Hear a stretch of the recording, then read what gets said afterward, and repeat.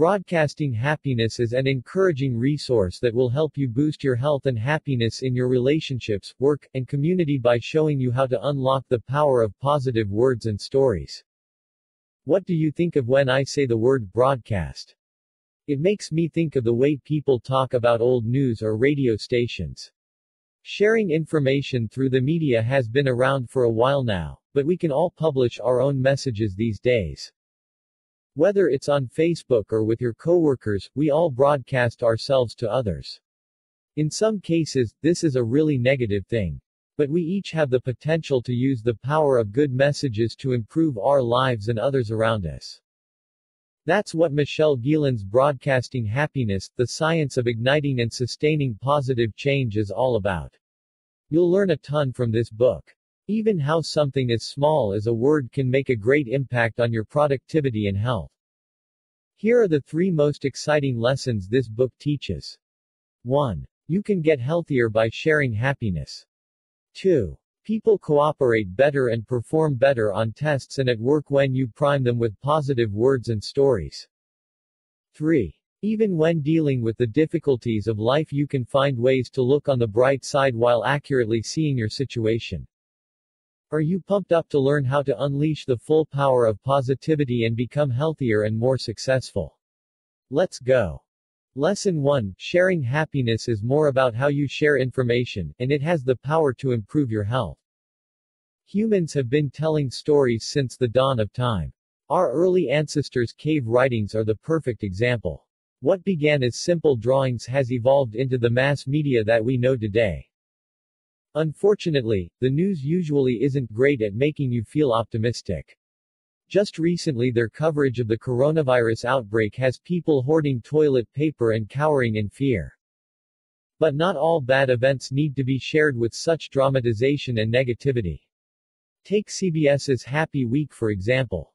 During the 2008 recession, a string of bad news cut viewership in half for the network and they wanted to do something about it.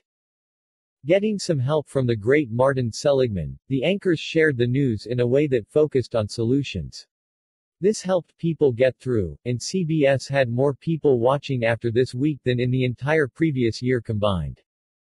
The power of encouraging stories is so great that it can improve your health.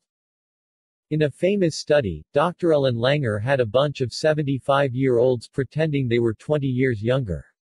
She encouraged them to share stories, but could only tell of experiences prior to when they were 55. The differences in results of strength, memory, and intelligence tests before and after the experiment revealed the life-changing effect they'd been through. Every one of their scores went up after only a week, including an improvement in eyesight. Lesson 2. You will do better on exams, at work, and in your relationships by broadcasting positive words and stories. If you've ever done a group project at school, you know how wildly different people are when it comes to working. Some are driven and organized while others are sloppy and lazy. It's hard to get along in these kinds of settings no matter what kind of person you are. That's why as a team member or manager, you need to use the power of priming. This is when you talk about good experiences or use uplifting words to keep people cooperating. And science shows that it works. In one study, Stanford researchers divided people into two groups. One saw negative words like impatient or rude, and the other got to see happier words like calm and respectful. They then took a language test. The first group took on some of the characteristics of the words they saw before, interrupting the researcher more often. But the second group was kinder and more cooperative just as the scientists had primed them to be.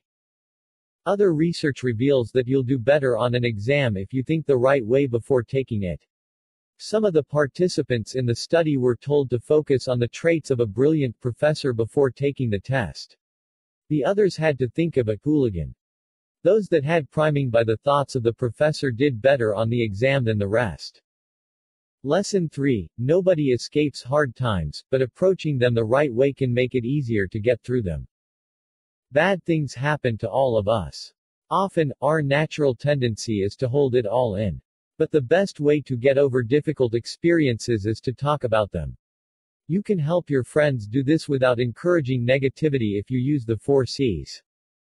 Capital. Context. Compassion. Commitment. Social capital means the body language and eye contact that we use to connect with people. When we do this it shows the other person we're listening. It gives them the much needed relief that comes from being heard. Context is making sure that you're getting all of the information accurately instead of letting the other person hold back. It's about making sure you really understand the full picture of what's going on. Then you have compassion, which is empathizing with their feelings. You've got to ask yourself if you actually listened. Did you feel with the person the pain of what they're going through as if it was you? Commitment comes last and means displaying the genuine care you have for your friend. It's going above and beyond the typical, how are you?